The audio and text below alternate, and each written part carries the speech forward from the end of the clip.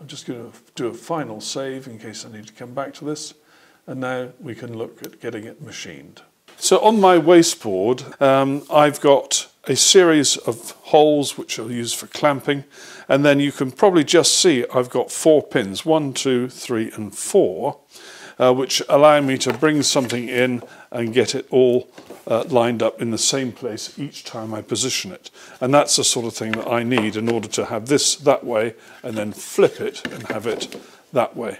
These, these pins have been put in a long time ago and I know that they're absolutely right angles and it gives me a really good starting point for all of my jobs. Now in both these bits of work, uh, the centre part of what I'm doing will be cut out and I don't want that to go flying off.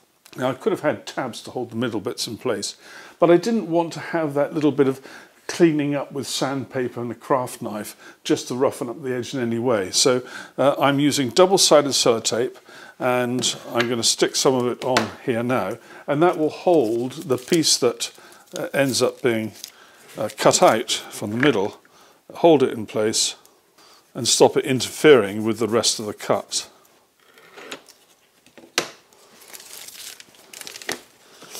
Right, that's the double-sided tape on and now I'm going to very carefully position this in here so that it's right up against my stops and I'm going to put my clamps in place now so I don't accidentally move it. And just to be on the safe side, I'm going to push down here to help unite the double-sided tape with my little bit of waste material underneath. So that should be okay. So let's turn the X-Carve on. Uh, the next thing to do is to set the home for the job. And in my case, as, as you would have seen from the footage I did with Aspire, uh, that's going to be the bottom left-hand corner of my piece of material. Now getting X and Y uh, lined up is pretty easy. You can do that by eye, uh, or if you're lucky enough as I am, uh, when you've done a homing command, you might know exactly how many millimeters X has to change, how many millimeters Y has to change in order to get it to that bottom left-hand corner, which is a fixed element now on my uh, work table. So I've, I've just done that. I've done 28 for the X and 30 for the Y, and that gets that in the right position.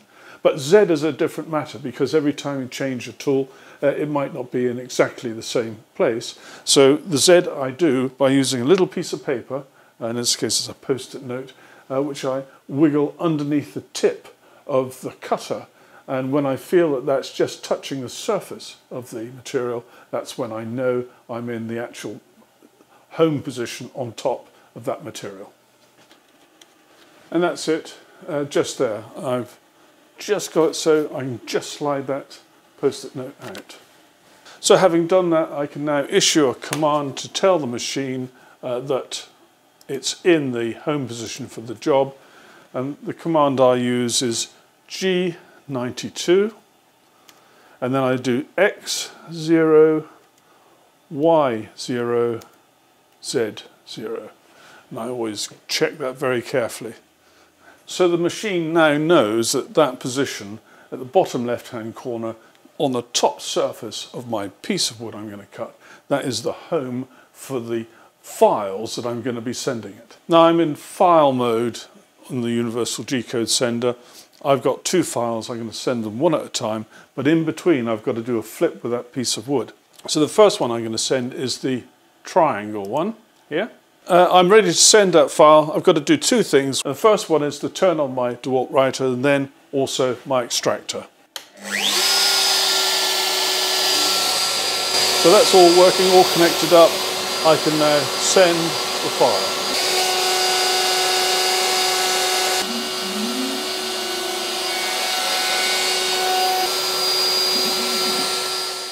And that's that done. You can probably just about see uh, the shape that's been cut out and my piece in the middle did not uh, come detached from the double-sided tape, thank goodness. right, now we've got to flip this and do the second one. Now I use manual control to move uh, the gantry out of the way so I can get at this and then flip it. And if you remember, This is a reference side, so it's just being flipped like that, and this is a reference edge, that's a reference edge there. So that's how I'm going to flip it. But of course, I'm still joined on with double-sided tape. That's the first bit of template which you can see there. There's the cutout. I'm now going to flip it like this, keeping that reference edge that side, and we've got the new reference side here. Uh, but of course, I've got to put some double-sided tape here. So the double-sided tape is on, and again, just like last time, I'm going to very carefully bring this in and make sure it is up against all my stops. That's it, and an extra press down in the middle there. Remove all my tools from the, the top. Now, I've not changed the cutter. I've not uh, reset the machine in any way. And the machine still knows that the reference point for the job is in that same position that we'd set before. Even though we've taken uh, things around, it still believes that the origin for this job is in that same corner. So we can now send the next file. So that's sent that file, and just as last time, uh, the centerpiece didn't come adrift, and I can now take my template out of the machine, and hopefully it's job done. And there's my template. The idea is that I can then do this part of the work first, flip the template, and then do this bit. Uh, that's the theory anyway. We'll see how it goes. Right, I have to confess I had a practice go just now, um, and now I'm going to try and make uh, a little better piece. And what I've done is I've stuck my workpiece down onto the sacrificial piece below it. Uh, so that means any cutouts won't move. I've got my reference edge here and the one at this end, which I'm lining up with the two edges of the piece I'm going to cut into. And it's the, the plug for the hole that I'm going to do first. Get this nicely lined up as accurately as I can. And when I'm happy, I'll put the clamp in place, get that in place. Now I've got to make a judgment how deep I want this. The material is 10 millimeters thick, so I think I'll go for five. And the way I'm going to do that is to set my router up the normal way, let it hit the material, and then you can see on this scale here, I raise this now by five millimeters, and that at the same time raises this piece here. So I'll raise that by five millimeters and then lock it in place. So that will give me a five millimeter depth of cut. Now because this is a plug, I'm going to plunge down and I'm going to keep uh, the guide all the way against the circular part of the template.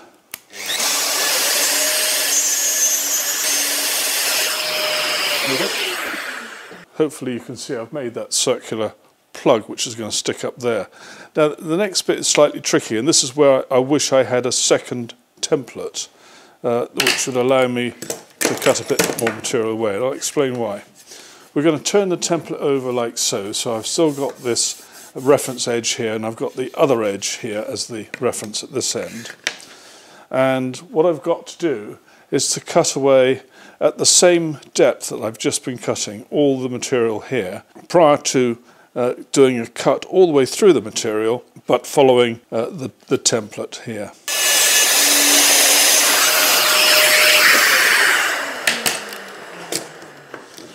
Well there it is, remove my template and take this off there. This is a piece I want you can see where I, I said it needs just a little bit of cleaning up, and I can do that now very simply. Right, I had one whoopsie. My router hit one of the clamps, and I thought I was still pushing against the edge of the template. That wasn't the case. And you can see there's a little nick there, uh, which is what caused that. But other than that, I've actually made the item I was trying to make, and there it is. So there's my little gizmo which I've made. This is the plug. I'm now going to change my setup so I can do the hole that this plug will fit into. How exciting! Right, I'm just getting set up now for the second part of the process, which is to create uh, the hole into which our little gadget is going to fit. So I put the double-sided sticky on my piece of material and push down quite hard. So I'm going to line the template up in the same way as before. Now this time we're going to have a hole that goes all the way through and then a triangular section which goes down to the same depth that this part is so that this will then fit down into it. At least that's the theory. And we're choosing a side uh, and a side, two sides to line up with our material. Final check, yep, happy there. Now after my experience with this one where uh, the router hit uh, the one of the clamps uh, and hence I got that little ding there, uh, I'm going to make sure these clamps are a little bit out of the way this time. And this is a hole so we're going to go all the way through.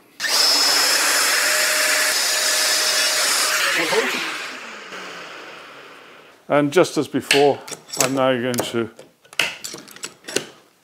flip the template. Yep, I'm happy with that. Now I've got to get the depth right. So the way to do that is to put the router onto the material. So the, the cutter is touching the surface of the veneered walnut and this is set to zero. And I'm now going to raise this and you can see this part here going up and down and I'm going to put that in there and then tighten that up.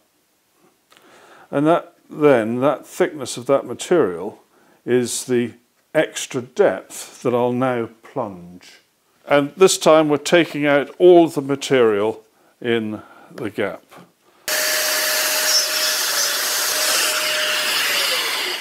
Check every now and again that there's nothing untoward going on.